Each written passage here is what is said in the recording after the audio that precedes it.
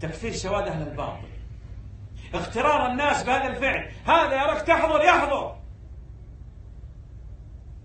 هذا مشكلة. ثم الكفار أهل الباطل يقوى على هذا الفعل. وبعد هذا ما تستطيع تحارب. في الأول يدرس نحو. ويدس لك السم في العسل. وفي الآخر الآن انتهى الأمر. وهناك رأس من رؤوس الخوارج. السبب أنك تزوج أولا وقال لعلها ترجع إلى السنة. فرجع نسأل الله السلامة إلى الباطل. احذر يا أخي لا تقرب هؤلاء. أبد. إلا أنت تؤثر ولا تتأثر. فوق هذا اللي أقول لك هنا. أراد النبي صلى الله عليه وسلم أن يصلي في مسجد ضرار مسجد ضرار لماذا بني؟ لأسباب أربعة. كفر وإرصاد وتفريق ومحاربة. لا تقم فيه أبدا. لماذا؟ تكثير سواد أهل الباطل. كفر وإرصاد وتفريق ومحاربة. كل مسجد أسس على الباطل لا نقوم فيه. طيب يأتيك بعد. قال نستطيع. كان يستطيع النبي صلى الله عليه وسلم. يحول مسجد ضرار إلى مسجد. أسس التقوى. يطرد من فيه من المنافقين وعين رجل من الصحابة كمعاذ رضي الله عنه. يصلي. قال لا. عندنا قاعدة عند الفقهاء. إتلاف المال حرام أو حلال؟ إتلاف. هذا لو طلع الآن دنانير وحرقها حرام؟ حرام. لكن إذا كان لمصلحة راجحة يصح أن يتلف المال. أمر النبي صلى الله عليه وسلم بهدمه وحرقه. إتلاف للمال. نعم ما هي المصلحة؟ حتى لا أحد يتذكر الشرك. ولهذا قال النبي صلى الله عليه وسلم عندما سئل نذر رجلا أن ينحر إبلا ببوانة اسم مكان قال هل كان كان يعني انتهى. لأنه هذا الآن لو يأتي لهذا المكان وكان فيه عيد في القديم معنى هذا أن يبعث لنا الأمور الشركية. وهناك في هذه الأيام من يبعث الأمور الشركية مرة انتهت. قال أين المكان الذي كان يعبد فيه كفار مكة اللات العزة ومناة؟ قال أعرف المكان. إذا معنى هذا لو اجتمعنا في هذا المكان نبعث الأمور البدعية والشرك. هل كان فيها وثن؟ قالوا لا. هل كان فيها عيد من عدم؟ قال قال أوفي بنذرك. يعني لو قال نعم قال لا. وأنت تعرف أنه بعض الناس في هذه الأيام يبعث الأمور الشركية اللي انتهت وقال كنا نصنع في الماضي. ليتنا نعيد تراث الأجداد والآباء. أعوذ بالله. عادات ما تخالف الشرع لا أشكال فيها. عادات تخالف الشرع لا يمكن أن تعيد هذا الأشياء التي مضت وانتهت. فما بالك لو كانت قائمة؟ فنحذر أخواننا من هذا. نعم. قال باب من الشرك النذر لغير الله. باب من الشرك الأكبر نذر لغير الله. نعم. قال باب من الشرك الاستعاذة بغير الله. النذر لغير الله هو في في اللفظ كالحلف بغير الله. لكن الحلف بغير الله منه ما هو أصغر ومنه ما هو أكبر.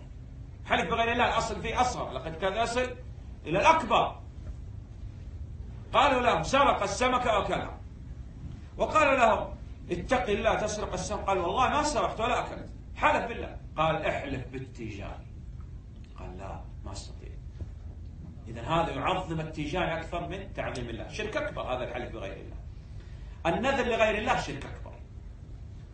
نعم. بعد هذا قال باب قال باب من الشرك الاستعاذة بغير الله. الاستعانة والاستعاذة والاستغاثة والشفاعة مثل الدعاء. الدعاء عندنا دعاء عبادة.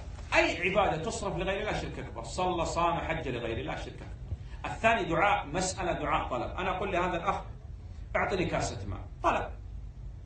إذا كان هذا الطلب لا يقدر عليه إلا الله شرك أكبر. تأتي المرأة لقبر وتقول تطلب منه الولد إنزل غير شرك أكبر. أما الطلب فيما يقدر عليه أطلب من المخلوق شيئا يقدر عليه يصح بشروط أربع حي وحاضر وقادر أعتقد أنه سبب. حي خرج به الميت حاضر خرج في غائب وفي الكويت ينادي الولي في الهند في أفريقيا. قادر يطلب من عاجز. انسان مشلول أقول له اعطيني كاسة ماء ما يمكن. الرابع أن أعتقد أن هذا السبب لا يضر ولا ينفع. مثل الدعاء الاستعانة أقول للشيخ أعني في حمل هذه الطاولة. يصح بالشروط الأربع حي وحاضر وقادر والسلام. استعانة استعاذة استغاثة. غرق في البحر ينادي هذا على الشاطئ يقول يا فلان أغثني. يتصل على الدفاع المدني حصل حريق. يصح يصح بالشروط الأربعة. شفاعة. جاء رجل الشيخ قال الله يرضى عنك تكتب لي شفاعة أقبل في الجامعة. يصح. قال يصح بالشروط الأربعة. اختل شرط ينتقل الحكم من الجواز إلى الشرك الأكبر. نعم قال باب قال باب من الشرك أن يستغيث بغير الله. يستغيث يقول أو أو يدعو غيره. هذا معناه أن الدعاء الاستعانة استعاذة استغاثة شفاعة مثل باب الدعاء. انتهى الآن. والله أعلم من القسم الثاني تفسير التوحيد. فسر التوحيد بضده. فسر التوحيد بماذا؟ بأنواع الشرك الأكبر في تفسير التوحيد. ولبس الحلقة والخيط ونحوهما لرفع البلاء ودفعه صح؟ والشرك في في ماذا؟ في الرقية وفي التمام. وبعدين ذكر لك الشرك في التبرك والشرك في الاستعانة واستعاذة واستغاثة وشفاعة ودعاء والشرك في الذبح والنذر لغير الله. وقال احذر من الشركيات هذه. تمام؟ فسر لك التوحيد بضده بالشرك نعم. الآن دخل في القسم الثالث صحيح؟ إذا اخترت علمني. الآن دخل في القسم الثالث. ما هو؟ أراد أن يبين أنه لا أحد يستحق أن يعبد إلا الله. لا النبي صلى الله عليه وسلم ولا الملائكة ولا أحد يستطيع أن يشفع إلا بإذن الله. ولا يستطيع أحد أن يملك هداية التوفيق إلا الله. إذا لماذا نعبد غير الله؟ لماذا يعبد النبي صلى الله عليه وسلم؟ وقد قال عليه الصلاة والسلام جمع الناس وقال لا أغني عنكم من الله شيئا. فإذا صرح وهو سيد المرسلين عليه الصلاة والسلام بأنه لا يغني شيئا عن سيدة نساء العالمين. فاطمة رضي الله عنها قال سليني من مالي ما شئت. لا أغني عنك من الله شيئا. وآمن المرء لا يشك المرء أن النبي صلى الله عليه وسلم لا يقول إلا الحق. ثم نظر فيما وقع فيه خواص الناس اليوم. تبين له غربة الدين وترك التوحيد. يعبد غير الله؟ والله عبد من دون الله حتى الكلاب. سقطت طائرة في الحرب العالمية في منطقة من المناطق. كافر قائد الطائرة. وجع هذا القبر إلى يومنا هذا يعبد من دون الله. هل تستطيع أن تعبد جيفة؟ جيفة نتنة. تترك عبادة الله سبحانه وتعالى في القديم كان يعبد من دون الله صالحين وأحجار وأشجار لا تعصي الله هذا في القديم. الآن يعبد من دون الله من هو؟ من الفسقة الملاحدة كفار. يعبد من دون الله. ولا أحد يتكلم ولا أحد ينكر. والله لو سبت الكويت. أو سب فلان من الناس والدك مثلا أو القبيلة والعشيرة أقمت لها الدنيا وما قعدتها. أما يسب رب العالمين يشرك بالله. نعم هناك من يستأسر الدين الإسلامي ولا تتكلم. انتبه تكون وسط. إنكار وسط. يعني ليس معنى هذا تقتل تسب تشتم أو تقر تسكت. لا وسط. وقد نزل عليكم في الكتاب أن إذا سمعتم آيات الله يكفر بها واستهزأ بها فلا تقعدوا معهم حتى يخوضوا في حديث غيره. إنكم إذا مثله إذا النبي صلى الله عليه وسلم لا يعبد. إذا غير من باب أولى. فبين في هذه الأبواب بطلان عبادة النبي صلى الله عليه وسلم. شج النبي صلى الله عليه وسلم في أحد. لا يغني عن نفسه شيء أيضا لا يغني عن لا يستطيع أن يغني عن غيره من باب أولى. الملائكة عليهم السلام أقرب الناس إلى الله. يحصل لهم عند كلام الله الفزع والخوف بطلت عباد الملائكة عليهم السلام غير من باب أولى. الشفاعة النبي صلى الله عليه وسلم لا يستطيع أن يبدأ بالشفاعة يوم القيامة. حتى يأتي الإذن من الله. قل لله الشفاعة جميعا. إذا بطلت عبادة ما سوى الله نطلب الشفاعة من غير الله. إنك لا تهدي من أحببت.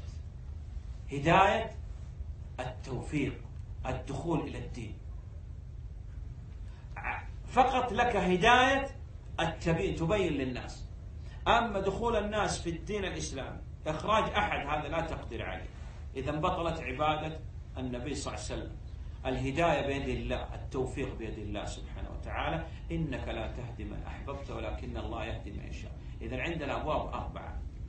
ذكرها المؤلف حتى يبين لك بطلان عبادة الأول بطلان عبادة ما سوى الله. فقال ما سوى الله الأصنام والنبي صلى الله عليه وسلم. هذا الباب الأول. قال قال باب قول الله تعالى أيشركون ما لا يخلق شيئا وهم يخلقون؟ لا لا تخلق. كيف تعبد؟ وهم يخلقون مخلوق مفتقر إلى غيره. نعم هذا الباب الأول. بطلان مع عبادة ما سوى الله. بطلان عبادة الأصنام بطلان عبادة النبي صلى الله عليه وسلم في هذا الباب. ولا يستطيعون لهم نصرا الآية نعم. قال باب قول الله تعالى حتى إذا فزع عن قلوبهم قالوا ماذا قال ربكم؟ قالوا الحق وهو العلي الكبير. بطلان عبادة الملائكة وإذا بطلت عبادة الملائكة عليهم السلام غير من باب أولى. الباب الثالث. قال باب الشفاعة. بطلان الشفاعة أن الشفاعة حق لله لا يملكها النبي صلى الله عليه وسلم إذا غير من باب أولى. قال باب قول الله تعالى إنك لا تهدي من أحببت. إنك لا تهدي من أحببت. نزلت في أبي طالب. أحب النبي صلى الله عليه وسلم هداية هذا الرجل. لكن ما استطاع. حتى تعلم أنك بشر. لا تضر ولا تنفع. ماذا عليك؟ عليك البلاغ. نعم. إذا انتهى هذا القسم. القسم الثاني بطلان عبادة ما سوى الله. الآن كأنه سائل. يقول للشيخ محمد بن عبد الوهاب رحمه الله يقول يا إمام التوحيد عرفناه. دعا إليه النبي صلى الله عليه وسلم منذ أن بعث إلى أن توفاه الله حتى في فراش الموت. يحذر من الشرك. لماذا يقع الشرك؟ لماذا نرى الشرك في الأمة؟ ما السبب؟ نريد نعرف الأسباب حتى نحذرها ونحذر منها. لماذا يقع الشرك في الأمة؟ قال أسباب وقوع الشرك ثلاثة. انتبه. أخطر الأسباب ثلاثة أسباب. الأول قال باب ما جاء أن سبب كفر بني آدم وتركهم دينهم هو الغلو في الصالحين. الغلو في الصالحين هو سبب الشرك قديما وحديثا. أول شرك حدث في الأرض بشبهة الغلو في الصالحين في قوم نوح عليه الصلاة والسلام. لبس عليهم محبة الصالحين. محبة الصالحين حق لكن الطريق باطل. تصاوير وتماثيل وعكوف على القبر. وبعض الناس هدانا الله إياه. يضع في الجوال مثلا صورة الشيخ فلان وفلان لماذا؟ قال تذكر الوعد بن باز رحمه الله أمر بهدم بيت محمد بن عبد الوهاب لماذا؟ رجل يعلم الناس التوحيد وينشر التوحيد ويأتي من أهل السنة من يذهب إلى الرياض إلى الدرعية أو كذا يقول أريد أرى البيت الذي كان فيه محمد بن عبد الوهاب ليش؟ لماذا؟ هل هذا طريق السلف؟ هل هكذا هو دعا إلى هذا؟ لا إذا هذه محبة ما هي حقيقية هذه محبة باطلة كذاب هذه شركية إيش عليك ببيت محمد بن عبد الوهاب؟ فالشيخ بن باز أمر بهدم بيت الشيخ. ليش؟ صيانة للتوحيد؟ حتى تعرف أن هؤلاء من يقال عنهم وهابية أرادوا أن يعلقوا الخلق بالخالق. سبحانه وتعالى. وبعضهم قال والله هذه صورة بيت الشيخ مقبل. رحمه الله. ما أراد هذا الشيخ مقبل والله. ما أراد أن ترى الكرسي اللي كان يجلس عليه المسجد لا. أراد توحد الله. هذه المحبة الحقيقية. بعض الناس نهاية الدرس قال وين الشق؟ قال إيش تريد؟ قالوا قبل رأس الشق. كذاب. إلا من رحم الله. الشيخ ما أراد تقبل رأسه أراد العلماء ما أقصد أنا. العلماء رحمه الله أرادوا أن تأخذ العلم بحقه تؤديه. تذب عن عرضه. صحيح. تدعو له في ظهر الغيب. هذه المحبة الحقيقية. أما أقبل رأسه غداء عشاء هذا ما لا, لا ما هي محبة. إذا لابد أن نتوسط في محبة الصالحين. هنا. غلو مجاوزة الحد إما مدحا أو قدحا وهذا اللي واقعين فيه اليوم إلا من رحم الله. إما مدح أو قدح يسب ويشتم أو يتمسح ويتبرك ويركع ويسجد. وأول شيء حدث في الأرض. إذا لابد أن نتنبه لهذه المسألة الآن محبة الصالحين. كيف نحب الصالحين؟ تحب محمد عبد الوهاب؟ إذا لابد تتعلم كتاب التوحيد تعلم. أما تذهب إلى بيته وإن درس وإن كذا وإن صنع لا. ولذلك تجد يعني أكثر علماء يعني ما يتكلم عن تراجم العلماء هؤلاء صح؟ يعني أكثرنا لا يعرف ترجمة محمد عبد الوهاب. إيش يعنيني ترجمة محمد عبد الوهاب؟ لماذا؟ نريد سيرة النبي صلى الله عليه وسلم. هذا الميزان عندنا. هذا رفع بماذا؟ باتباع للنبي صلى الله عليه وسلم. إذا هذه المحبة الحقيقية. هذا الأول. أول شيء حدث في الأرض بشبهة الغلو في الصالحين. إما مدحا أو قدحا. صوروا تماثيلهم وعكفوا على قبورهم وطال عليهم الأمد فعبدوه. نسأل الله والسلام نعم. قال باب ما جاء من التغليظ في من عبد الله عند قبر رجل صالح فكيف إذا عبده؟ يقول أن القبور الآن الأصل أن تكون القبور خارج البنيان. هذا البقيع اللي تراه في المدينة كان خارج المدينة. والدليل أحاديث كثيرة منها أن الذي كان يأكل ثوم وبصل ينفى إلى بقيع. وقال كان النبي صلى الله عليه وسلم يطيل في صلاة الظهر حتى يذهب الذاهب إلى البقيع. القبور أين تكون؟ خارج البنيان. وداخل البنيان إيش تكون؟ مساجد. لأن أهل السنة يعمرون مساجد وغيرهم يعمرون المشاهد. القبور تكون خارج البنيان. نتوسط فيها لا إفراط ولا تفريط. لا يمكن أن تكون أي عبادة عند القبور إلا فقط شيء واحد زيارة شرعية بشروطها. زيارات ثلاث أقسام شرعية بدعية شركية. الشرعية أن ينوي بهذه الزيارة تذكر الدار الآخرة أن لا يشد إليها الرحم أن ينوي بهذه الزيارة الدعاء له وللأموات بالصفح عن الزلات. أما إذا نوى دعاء الله عند الأموات زيارة بدعية. نوى دعاء الأموات دون الله زيارة شركية إذا السبب الثاني من أسباب وقوع الشرك التغليظ الشديد في من عبد الله عند قبر رجل صالح إذا ما يمكن نأتي القبور إلا بزيارة شرعية بشروطها والقبور تكون بعيدة. إذا من أخطر الأسباب القبور. الثالث قال باب ما جاء أن الغلو في قبور الصالحين يصيرها أوثانا تعبد من دون الله. ماذا نصنع في القبور؟ نتوسط فيها. لا إفراط ولا تفريط. نرفع القبر مقدار شبر. يسنم يوضع عليه حجر أو حجرين لا أشجار لا ورود لا جبس ولا رخام ولا غيره. حتى الشيخ بن عثيمين رحمه الله تعالى يقول حتى السور لا يمكن أن نبني سور حول القبور. إلا عند الضرورة نضع شبك حديدي سياج فقط. مصابيح لا مصابيح ولا غيره. لأن الغلو في قبور الصالحين يصير أوثانا تعبد من دون الله. هذا السبب الثالث. إذا عندنا ثلاثة أسباب هي أسباب وقوع الشرك. الغلو في الصالحين يعبد الله عند قبر رجل صالح. يعبد الله لكن عند قبر هذا خطر. فما بالك إذا عبد صاحب القبر؟ الثالث غلو في قبور الصالحين. يصيرها أوثانا تعبد من دون الله. الرابع أن النبي صلى الله عليه وسلم أغلق كل طريق يوصل إلى الشرك ونصح وبلغ وأدى وجاهد في الله حق جهاد. لكن يقول ابن القيم رحمه الله أبى بعض الناس إلا أن يرتكبوا ما نهى عنه النبي صلى الله عليه وسلم. نهى عن الغلو في الصالحين غلو في الصالحين. عن عبادة الله عند قبر الرجال عبد الله عند القبور. الغلو قالوا في قبور الصالحين. فليت شعري من أباح ذلك وأورط الأمة في المهالك. فيا شديد الطول والإنعام إليك نشكو محنة الإسلام. حتى المساجد أصبح يدفن فيها الصالحين. لماذا؟ لأن المساجد لله وأن المساجد لله.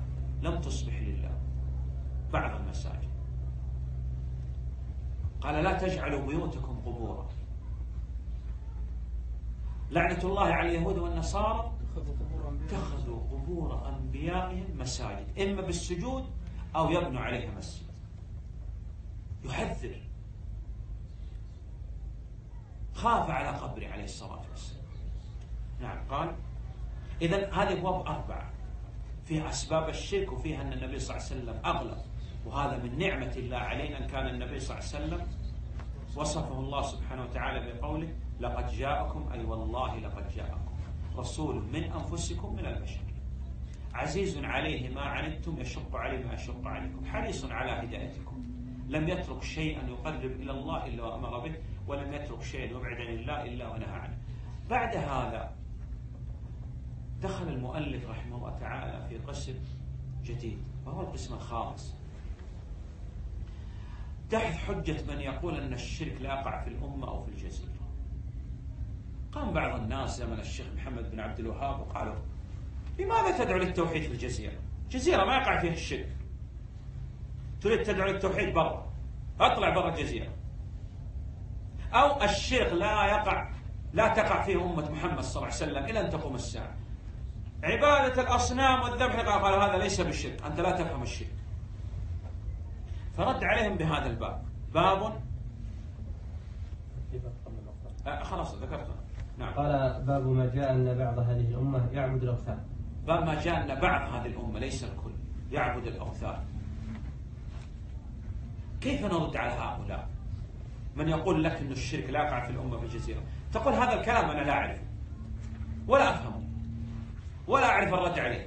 لكن عندي نصوص بينة وأنت من الذين سمى الله سبحانه وتعالى لي تتبع المتشابه وتترك المحكم. وأنا ما أسمع لك ولا أقرأ هذه الرسائل فيها الباطل. انتبه يا أخواننا هذه الأيام تأتيك رسائل حتى هناك من يشكك في كفر إبليس. والله موجودة الرسائل. لماذا نسمع لهؤلاء؟ لو قال لك قائل الشرك لا تقع في الأمة في الجزيرة تقول أنا ما أسمع لك. أنت من الذين سمى الله لي. تتبع المتشابه تترك المحكم عندي نصوص بينة واضحة. وأن القرآن والسنة أدلة كثيرة منها الآن لعنة الله على اليهود والنصارى. وقال النبي صلى الله عليه وسلم حتى يلحق حي من أمتي بالمشركين وتعبد فآل من أمة الأوثان. وهذا الحديث اللي استدل به هؤلاء هذا ما وقع في قلب الشيطان. أيس الشيطان أن يعبد المصلون؟ ترك الإغواء؟ لا. ثم قد يكون هذا زمن الصحابة رضوان الله عليهم قوي فيه الإيمان وأيس من الكل لم ييأس من البعض الصحابة رضوان الله عليهم قاتل أهل الردة أين؟ أين قاتل أهل الردة؟ وين؟ في الشام في الشام؟ في العراق؟ في الهند؟ في الجزيرة العربية إذا لو كان الشرك لا يقع في الجزيرة إذا قتال الصحابة المرتدين ليس بصحيح صح الفقهاء في المذاهب الأربعة يذكر أشياء حكم المرتد حتى ولو كان أين؟ في الجزيرة العربية حتى لو كان عند الكعبة. ما الفرق بين هنا وهنا؟ مفهوم؟ إذا رد عليهم بهذا الباب. عادة المؤلف رحمه الله أنه يجمع لك المسائل ثم بعد هذا يفصل. الآن بدأ يذكر لك أعمال شيطانية لأن لا تظن أن الشرك شرك فقط. لا. انتبه. يبدأ صغائر. يرتقي كبائر. يرتقي أصغر. حتى يوقعك في الأكبر أول ما بدأ به الشيطان في قوم نوح عليه الصلاة والسلام بدعة ما هي البدعة الحق محبة الصالحين. ابتدع في محبة الصالحين. قال صوروا تماثيلهم واعكفوا على قبورهم. حتى عبدت من دون الله وقع في الشرك الأكبر انتبه من الصغائر.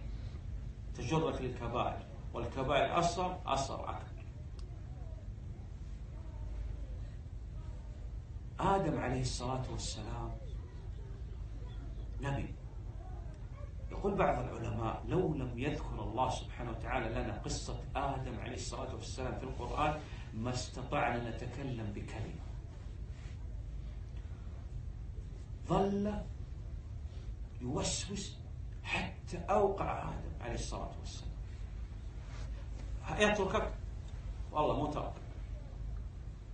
سد عليه كل الأبواب من بين أيديه ومن خلفه وعن أيمانهم وعن شمالهم يقول الشيخ لا والله ما سد. في طريق لا يمكن يغلق الشيطان. وهو هنا. تلتجئ إلى الله. هذا التوحيد. لا تظن ترى بالعلم. لا العلم لا يعصم من الوقوع في الشرك. ألم تر إلى الذين أوتوا نصيبا من الكتاب؟ توراة إنجيل ماذا صنعوا؟ يؤمنون بالجبت. إذا العلم لا يعصم من الوقوع. الذي يعصم هو الله؟ إي نعم. هذا التوحيد. تلتجئ إلى من؟ ولهذا قال لك الخوف. لا تقول أنا موحد وما في التوحيد مثلي وأعرف التوحيد قبل أن تولد وقبل أن يولد هذا اللي جاء هنا يتكلم في التوحيد. صحيح. لا تخاف. لابد تخاف. ومن يأمن بعد إبراهيم عليه الصلاة والسلام. إذا بدأ المؤلف الآن يأتيك بأشياء عند الناس ليست بالشرك ولهذا تمشي الآن في الطرق. في الأمس والله أشوف المفتاح السحري يا ولد يعني إيش؟ ما في مشكلة مفتاح سحري موجود؟ عندكم ما يوجد؟ حل المفتاح السحري موجود؟ والتنويم المغناطيسي صح؟ وألعاب سيرك وألعاب سحرية الولد يأتي للأب قال يا أبي اليوم أبغى أشوف فيلم كرتون قال إيش فيه؟ قال في الساحرة الفلانية ما يتكلم الأب أمر عادي حتى كان عندنا مسابقة في هذه المسابقة تذاع المسابقة على الهواء ما هو اسم أكرمك الله كلبة الساحر اللي فيلم كرتون إذا عندنا فيلم كرتون تعليم السحر والتعويذات ولا أحد يتكلم والتوحيد عرفناه صح؟ صح أو لا؟ الصغير يطيح له سن وش يسوي؟ يذهب إلى الشمس يستقبل الشمس يقول يا شمس يا شموسة خذي سني واعطيني سن العجوزة ولا العروسة صح؟ هذه هذه عبادة الشمس عندنا في شجرة تعبد الله ما كل المخلوقات تعبد الله إلا الكفار. سموها أعوذ بالله. كيف؟ حتى الأشجار عبدتوها لغير الله. إخوان اتقوا الله. ما يمكن. تجعلوا عباد الشمس تقول. كيف عباد الشمس؟ عباد الله تعبد الله. لو تنظر فيها تقول سبحان الخلاق صح؟ قال لا. دوار الشمس كويس مشي حالك. دوار الشمس كويس. صح؟ مشكلة إذا أدخلوا لنا الشرك من حيث لا ندري. أو أكبر بوابة لدعوة الناس للشرك بالله السحر. الساحر يكفر. ويريد أن يعبد الناس للشيطان ولهذا قال قال أعمال شيطانية الآن بدأنا في أعمال الشياطين. أعمال الشيطانية إيش علاقتها بالسحر؟ السحر كفر أكبر بوابة دعوة الناس للشرك بالله. قال باب عندنا مواقع اليوم. والله أخواننا زمان كان الساحر وصول للساحر صعب جدا. صح؟ وين تحصل ساحر يا رجل؟ لين تروح أفريقيا وممكن تموت لين تصل. اليوم ضغطة زر. تصل للساحر للكاهن المنجم الرمال قنوات تعليم السحر تعليم الكهانة كل شيء موجود. ضغطة زر. ضغطة زر كفر أكبر. تصل للساحر. والمرأة تقول لصديقتها تشتكي هذه المرأة تقول زوجي يتعبني والله. ظالم. وكذا وكذا. تقول خلاص عندي. إيش عندي؟ قالت والله اخليه أصبع في يدك. آه، خاتم في يدك. قالت تمام تمام. قالت أنت ما تصنع الشرك الاثنين شركاء في الكفر. والله صدق. والناس يتكلموا بهذا النساء أمر طبيعي. عادي صح؟ أمر عادي. تنويم مغناطيسي عادي. برمجة عصبية. سموا إيش؟ ما يقولوا سحر اليوم. برمجة عصبية العاب بهلوانيه كذا كذا كذا. خفة يد. إيش؟ خفة يد. طيب غدا الله العافيه السلام يخرج الدجال. يؤمن كل الناس ولا تبالي خطوات. إذا عقد هذا الباب حتى تحذر من السحر وتعرف أن السحر كفر أكبر. طيب عرفنا السحر. قال باب قال باب بيان شيء من أنواع السحر. الأول الأول معلش قال باب ما جاء في السحر. ما جاء به السحر أن الشرك أكبر. انتبه. وقد تظن أن السحر نوع واحد. قال لا أنواع السحر. أنواع. وأراد أن يبين لك أن السحر أنواع. قراءة كف فنجان تنويم مغناطيسي آه، برمجة عصبية وأشياء كثيرة. نعم بعده. قال قال إن من البيان لا سحرا الساحر يتكلم بكلام معسول. هذا راح للساحر قال إنا لله وإنا إليه راجعون. لا لا والله أنت لازم تلتجئ إلى الله. صلى الله على نبينا محمد عليه الصلاة والسلام. قال تعال نتوضا يا ولدي. وعنده بول يتوضأ منه. خلي هذا يتوضأ منه. قال صل القبله القبلة هنا قال أنت مريض مسكين. هذا القبله القبلة هنا قبلة الشيطان. وقال لازم ما تصلي. ها؟ أنا مريض. قال مريض معذور. ما تصلي. وتاكل ما تسمي. وما تغتسل من الجنابة. ليش؟ حتى تأتيك الشياطين يصير شيطان. هذه من علامات الساحر العقد مع النفس. يكتب اباجاد حروف لأنه يكتب له بسم الله الرحمن الرحيم ألف. قل هو الله أحد باء الله الصمد سين. وهذا يضم قرآن. قرآن الأحرف هذه يعني كفر بما تقدم. أعطيه الورق هذا وقال خليها معك خلاص. كتابة أباجاد النظر في النجوم قراءة الكف الفنجان هذه كلها من علامات. يسأل عن اسم الأم. وقد يطلب أموال وقد لا يطلب. لكن يطلب منه شيء يعجز عنه. يقول مرضك خطير ونحتاج حتى نفك السحر. فار أعمى فين أجيب فار أعمى أنا؟ أنا فار مبصر ما أستطيع أجيبه. قال عندي من يأتي به من أفريقيا. أو قرد يتيم. قرد يتيم. كيف أجيب قرد يتيم؟ قال عندي. مفهوم؟ يعني أشياء تعجز عنها حتى يأخذ أموال. سحروا أعين الناس واستغفوا الساحر يجعلك تتعلق به لا بالله وهذا عند بعض الرقاة اليوم. قال ترى أنا مس- غير مسؤول عنك بعد ثلاث أيام. وأنت ربي. نعم. قال باب بيان شيء من أنواع السحر. حتى تجتنبها.